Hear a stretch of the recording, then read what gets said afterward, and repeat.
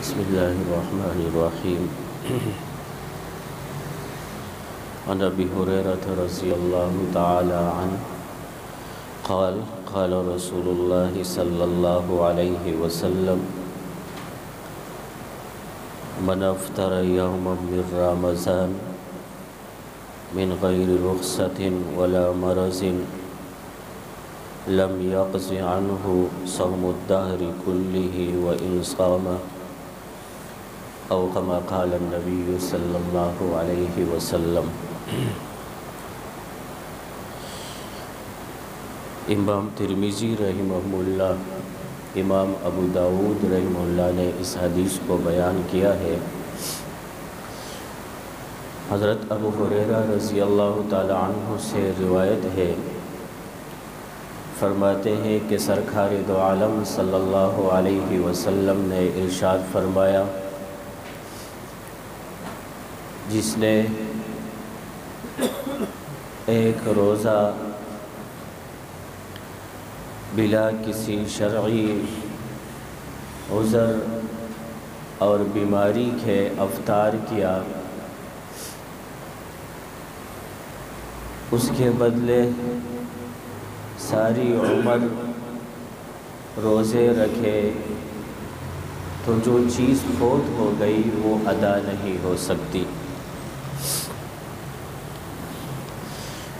इस हदीस मुबारक में रमज़ान मुबारक के रोज़ों की अहमियत वाज है कि जो शख्स बिला किसी उज़र के रमज़ान मुबारक का एक रोज़ा वो छोड़ दे अवतार कर दे, उसके बदले वो सारी ज़िंदगी उम्र भर वो रोज़े रखे तो वो एक रोज़ा जो उसने बिला किसी शर्य उज़र के, बीमारी के, अवतार किया था, थोड़ा था, उसके सवाब तक नहीं पहुँच सकता। कितनी बड़ी बात है। सारी ज़िंदगी रोज़े रखे, वो एक रोज़े का जो सवाब अल्लाह तबारक व ताली ने रमज़ान मुबारक में एक रोज़े पे रखा है। एक बंदा सारी ज़िंदगी उसका इदा करे, कज़ा करे, वो जो सवाब है उस तक उसका सवाब नहीं पहुँच सकता। बिला मरज़ और बिला रुखसत, इस हदीस में ये दो अल्फाज ज़िक्र है। बिला रुखसतिन व बिला मरज़िन मिन गैर रुखसतिन वला मरज़िन। शर्ई उज़र और रुखसत वो अलग चीज़ है। कि अल्लाह तबारक व ताली ने चूँकि मुसाफिर के लिए रुख्सत दी है कि अगर कोई सफ़र पे जा रहा है या सफ़र में है तो उसको रुख्सत है, वो रोज़ा छोड़ दे और फिर बाद में उस रोज़े की कज़ा कर ले। या खुदा न खास्ता किसी ऐसी बीमारी में मुबतला है कि रोज़ा रखने से वो बीमारी मज़ीद बढ़ बढ़ने का ख़दशा है या मौत का ख़दशा है तो फिर शर्की तौर पे उसे इजाज़त है कि वो वो रोज़ा अभी ना रखे, बल्कि बाद में जब सेहतियाब हो जाए तो उसका कज़ा कर ले। ये उस शख्स के लिए है कि जो बावजूद ताकत के, बावजूद इस्तात के अल्लाह तबारक व ताली ने सेहत भी दी है, तंदरुस्ती भी दी है जान भी दी है, वक्त भी है, कोई उसके लिए उज़र मान्या नहीं है। इसके बावजूद अगर वो रोज़ा नहीं रखता तो वो इतने बड़े सवाब से वो महरूम हो जाता है। और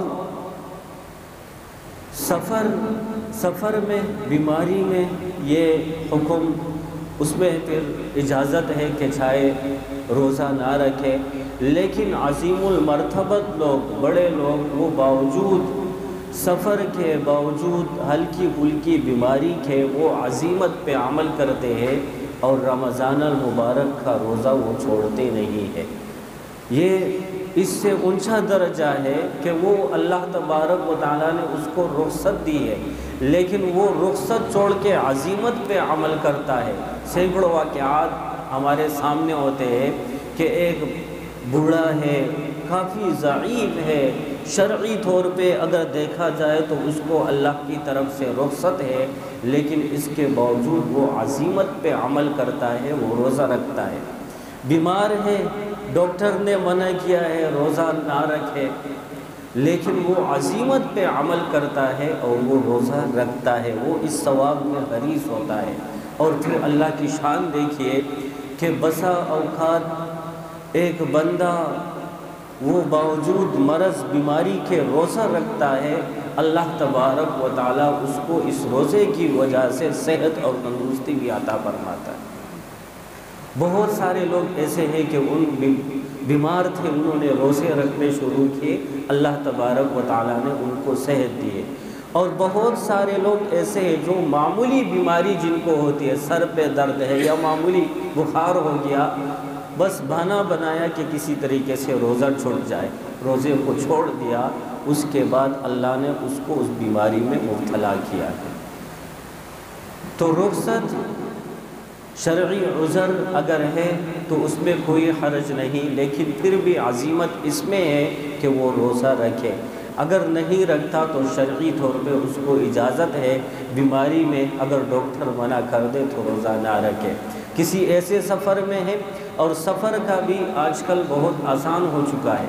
यानी गाड़ियों का सफ़र है, जहाज़ का सफ़र है, उस पर सहूलतें आ चुकी है। यानी ऐसी कोई सूरत नहीं कि जिसमें बंदे के लिए रोज़ा रखना मुश्किल हो। गाड़ी वाले, बस वाले, वो स्टाफ पे स्टाफ रोकते हैं, अफतारी के वक्त भी रोकते हैं, शहरी के वक्त भी रोकते हैं। इसके अलावा और अगर कोई मजबूरी हो तो वो स्टाफ कर लेते हैं। तो अगर हो सके तो सफ़र में भी रोज़े को बरकरार रखे, अजीमत पे अमल करें। इसके अलावा इस हदीस में नबी अकरम सल्लल्लाहु अलैहि वसल्लम ने फरमाया कि वह इंसान लम यगज़ी सौमुद्दहर कुल्ली व इंसामा।